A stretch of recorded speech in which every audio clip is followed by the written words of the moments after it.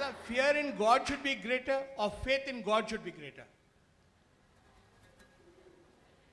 It all depends upon what you mean by fear Fear of God. and what you mean by faith.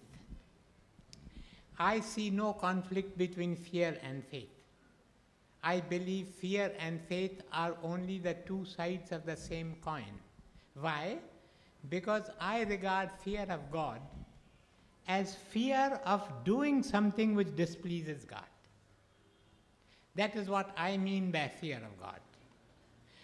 I do not mean that fear of God means that God will throw me into hell or he will burn me in fires and so on and so forth. All that is nonsense. For me, there's only one fear of God. I must not do something which may displease my God, and he may turn his face uh, away from me. Now, that fear is linked with faith. The two go together. So, there is no conflict between the two. But remember, faith is always stronger than fear.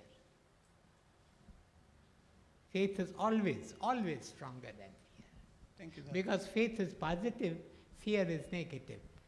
They, it, it may be the same thing, but the same thing has two aspects the positive and the negative. And the positive aspect is always stronger than the negative.